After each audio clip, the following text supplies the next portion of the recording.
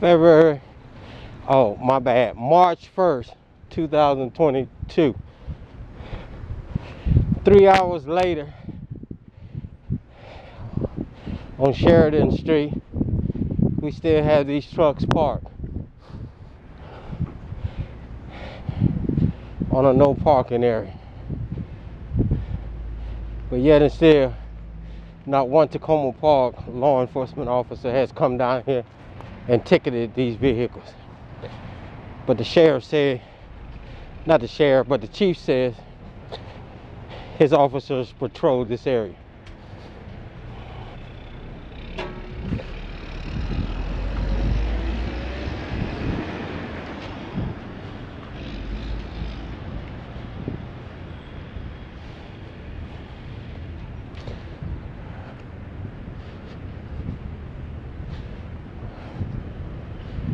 What's the purpose of having police when they don't enforce shit?